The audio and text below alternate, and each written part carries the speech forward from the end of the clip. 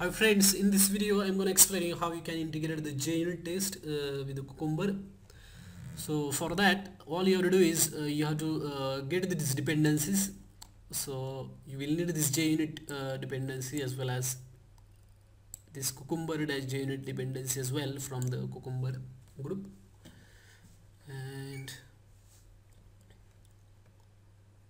that's it.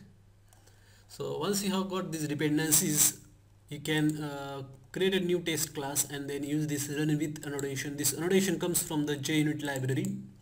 And over here you have to give the name of the class that is cucumber.class so this cucumber.class is the uh, class that contains the main method that will be executing the scenarios from the feature file. And then you have to give the cucumber options. This annotation is in this cucumber API library and in this uh, Cucumber options you can specify different options like uh, the path of the feature file then glue or the step definitions of the uh, steps in the scenarios. Then you can also specify uh, one or more tags.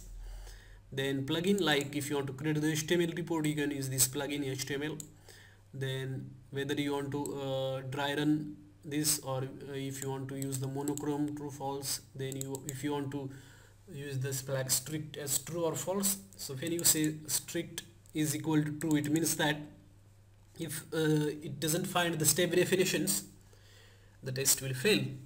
And then finally the snippets these are optional uh, options. Even if you do not give it it doesn't matter.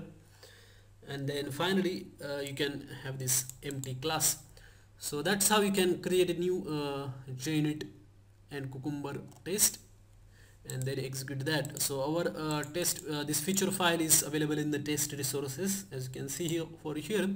And my step definitions are in this package so that's why I have given the name of this package over here.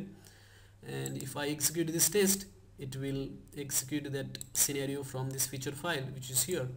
So this scenario will get executed so as you can see that scenario is executed over there. So that's how you can integrate JUnit with the Cucumber. If you like this video hit like button. Hi friends if you find this video useful please hit like button. And for more videos please subscribe to my channel. And also visit www.softpost.org for more tutorials and updated videos. Thanks for watching my video